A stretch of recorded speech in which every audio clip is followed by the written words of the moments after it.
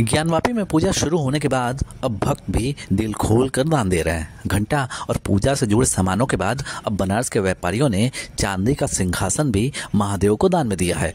रामनगर औद्योगिक एसोसिएशन ने शुक्रवार को काशी विश्वनाथ के गेट नंबर चार पर पहुँच चांदी का सिंहासन व्यास परिवार को सौंपा है। बताते चले कि यह सिंहासन करीब सवा किलो चांदी से तैयार हुआ है। रामनगर औद्योगिक एसोसिएशन के अध्यक्ष देव भट्टाचार्य ने बताया कि सभी उद्यमियों के सहयोग से चांदी के इस सिंहासन को बनवाया गया है, जिसे आज सभी व्यापारी बंधुओं ने व्यास परिवार को सौंपा है, ताकि तहखाने में देव विग्रह वहाँ उस चांदी के सिंहासन पर बिरा सके।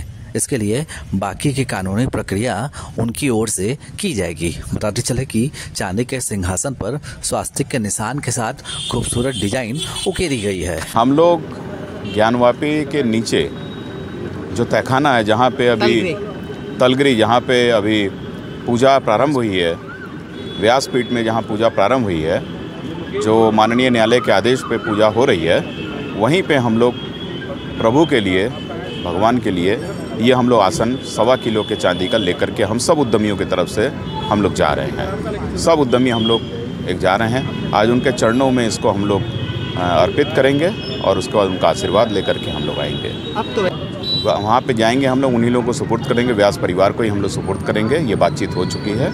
इसीलिए हम लोग यहाँ से जाएँगे गेट नंबर चार पे और वहाँ जा कर के हम लोग अंदर जा कर के वहाँ पे उनको सपोर्ट करेंगे। फिर आगे की जो प्रक्रिया होगी वो लोग अपना करेंगे।